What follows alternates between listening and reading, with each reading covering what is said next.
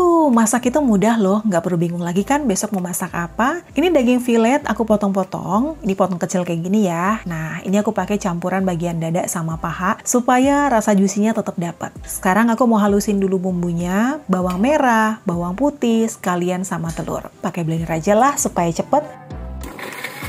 Oke, ini udah halus nih. Lanjut, aku masukin juga wortel yang udah aku potong-potong kecil. Wortelnya kalau mau diserut juga bisa ya, tapi aku mau di blender aja semuanya kayak gini.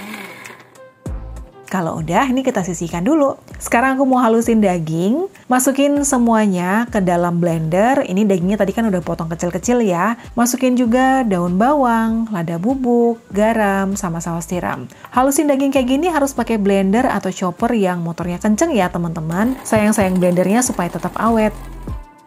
Oke, ini udah halus nih. Masukin deh semuanya ke satu wadah, satuin sama bumbu dan wortel yang udah kita blender tadi. Aduk-aduk-aduk sampai semua bercampur rata. Nah, kalau dagingnya pakai campuran antara dada sama paha, menurutku tuh memang jadi lebih enak. Rasa juicy-nya tetap dapat dari bagian pahanya ya. Didihkan air di panci, sekarang aku akan rebus sawi putih. Ini aku masaknya atau rebusnya utuh aja kayak gini ya. Sawinya nanti buat bungkus ayam. Ini rebusnya nggak perlu sampai layu banget, yang penting nanti udah bisa digulung. Bagian batangnya itu nggak patah. Pertama, celupin dulu bagian batang. Kalau udah mulai layu, pelan-pelan baru masukin semuanya. Sebentar aja, nggak perlu lama-lama, langsung diangkat. Oke, sekarang kita mau gulung. Ambil satu lembar sawinya, terus ambil satu sendok dagingnya, gulung-gulung pelan kayak gini.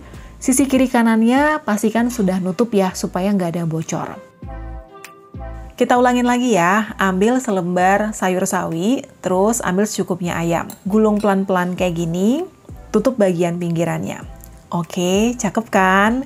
Lakukan sampai semuanya selesai ya. Lanjut, panci yang tadi itu udah aku didihkan lagi. Kasih aja alas buat ngukusnya ya. Ini kan emang udah sepaket nih pancinya sama alas kukusan kayak gini. Susun deh semua daging yang udah digulung tadi, usahakan nggak numpuk ya. Nah, ini kita kukus sampai mateng kurang lebih sekitar 20-25 menit. Yuhu, sawi gulungnya udah mateng dong. Cakep banget ya matangnya. Sajin deh di wadah yang cakep. Ini bisa dinikmatin pakai saus favorit. Paling simple, aku pakai saus Bangkok aja kayak gini udah enak banget. Sehat loh ini, udah ada sayuran sama protein dan ini tanpa minyak sama sekali. Enjoy! Semua alat masaknya, blender, sutil, panci serbaguna, dan kompor listriknya pakai Ideal Life. Masak-masak dengan Ideal Life jadi makin praktis dan mudah. Yang mau bikin di rumah, ini ya bahan-bahannya.